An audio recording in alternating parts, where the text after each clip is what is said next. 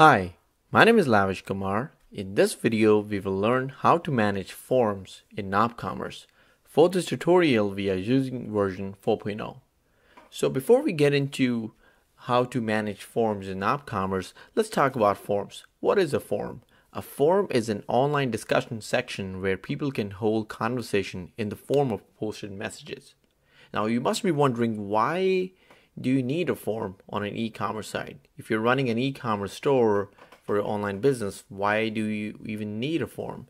So having form or discussion board on your e-commerce website is a great way to provide an option for your customers to communicate with you.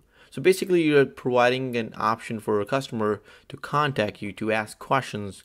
You can even start a community about your product or services that you are offering to online customers. So when you install NopCommerce, you also get a feature of forms out of the box. But by default, the form section is disabled. So let's look into the dashboard section to see how we can enable forms in NopCommerce. Let's go to the dashboard section and from the dashboard you'll go to configuration, settings and form settings. And you'll get a form setting page where by default you'll see form enable is not checked. So all you have to do is just enable it and save it. Okay. So once you save it, if you go back to your public store, if I refresh, you'll see a form link will be added in the footer section right here. And now when I click on it, you can see the form section of the site, which is good. All right, so before we get into all the settings, let's uh, look into how we can add the form groups and topics. All you can see here. So all you have to do is go into the dashboard section again and we will talk about these settings again. I'll get back to you. So go into the content management and from here you can select forms.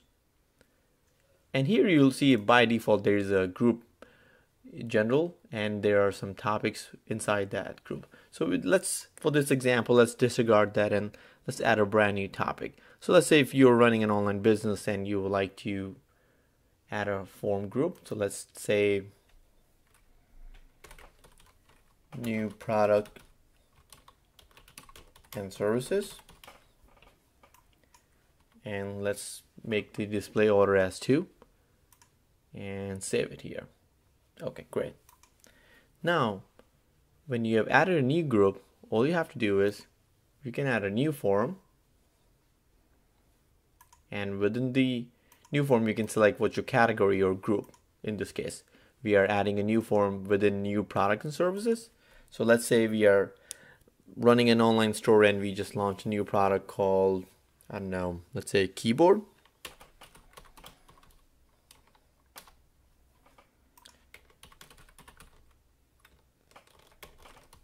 ask questions about keyboard okay simple enough Okay.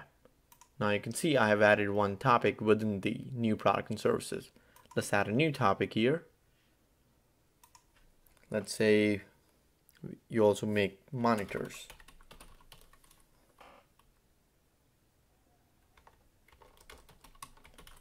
Ask questions about monitors and you can make the display order as 2 and you have saved it. Okay. So now we have two topics within this group called new product and services. Now if you go back to the public store and refresh it, you can see I have a new group here called new product and services. And within this group, I have keyboards and monitors. So now when your online customers are on your website, they can go to the form section and they can ask questions about keyboard that you're selling to your customer or they can ask questions about monitors. So all they have to do is simply just go to the monitor section and add a topic.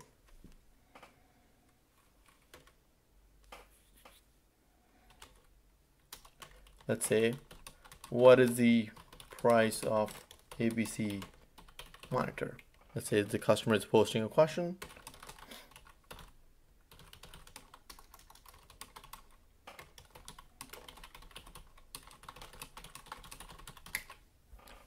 Okay, and they get an option to be notified by email when somebody posts on this topic. They can submit it, and there you go. The question has been posted. All you have to do is keep a track um, of your forms and answer questions to your customers. If that's the reason you are adding form on your NopCommerce site. Okay? So basically this is how you can add groups and within uh, the group you can add topics for a form now let's look into the settings for form how you can manage your form. So once you enable the form you can basically do relative date and time formatting you can enable signature. Signature is basically um, when you have enabled signature if you go if the user go into the my account section.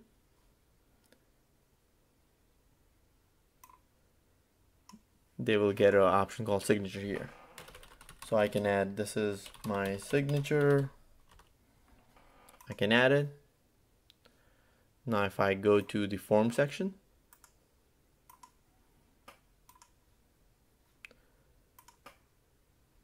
now if I go to the page where I added my question you will see my signature right under the my post. So this is very helpful if you know you're allowing your users to post their website or any eh, anything that they they would like to share in the signature. And you can add option to show customer post counts. Basically here you can see I have total post one. So basically you're allowing uh, customers to show their total number of posts on the form you can select BB code editor or simple text by default it's BB code editor which um, gives you these options so if I reply here so this is called all the options you have to post a picture hyperlink and everything this is the BB code editor by default. Okay, so let's look into the permission section. And here you can allow guests to create posts.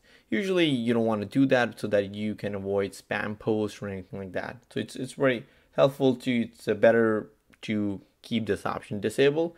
But in some businesses, you may want to allow guest users to create posts so you can use this. You can allow guest users to create new topics. You can allow customer to edit their post. So if you don't give this permission, basically once they post it, they won't be able to edit their post. You can allow customer to delete their post, allow customer to manage form subscription. This way they can subscribe to different forms. You can allow users to vote. So basically voting system is by default is activated. So if I go to the form section here, you can see I have the voting system. I cannot vote to my own post, but a different user can definitely vote if the post is useful. So you can allow maximum votes per day and you can also activate private messages. It's a very useful feature if you're running a forum. So if I activate this feature,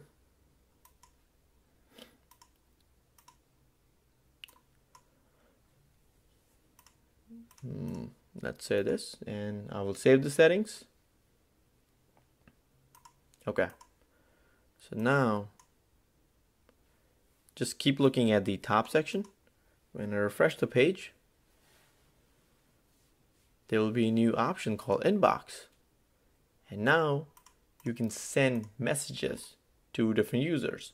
So now if I refresh on the forum you'll get an option called PM this means private messages.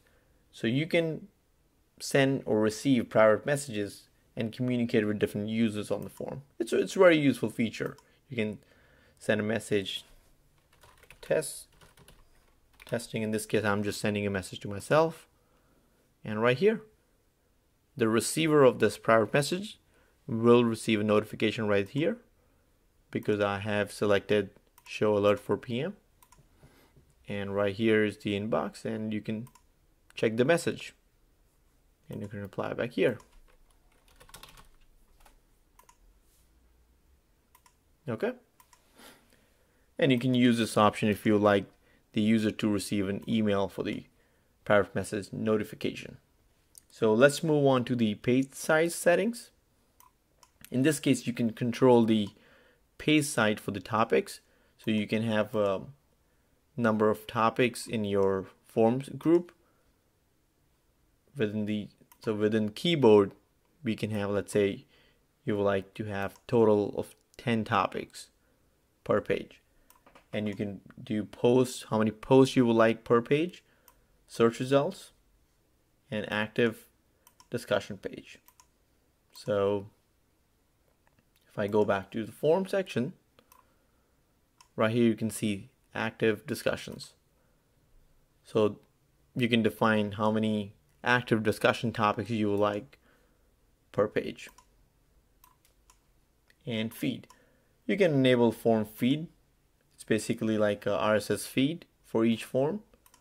And you can define how many form feed counts active discussion. You can enable the RSS feed for active discussion as well.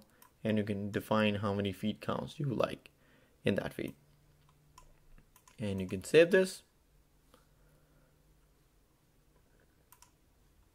And that's it. So this is how you can manage forms in NopCommerce. Now it's time for us to wrap up this tutorial video. Hope this was helpful. This video is brought to you by NopCommerce, open source shopping cart. Thank you.